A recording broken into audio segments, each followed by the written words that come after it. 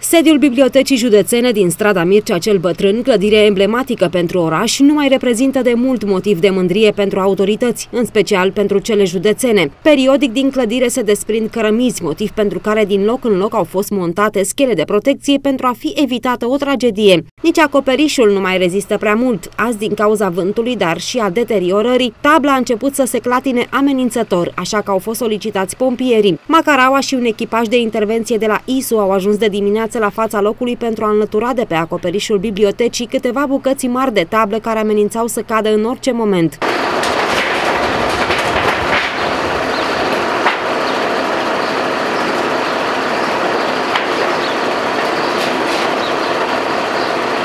Pompierii au avut ceva de furcă, întrucât au fost nevoiți să intervină de pe scara Macaralei, o eventuală deplasare pe acoperiș fiind extrem de riscantă.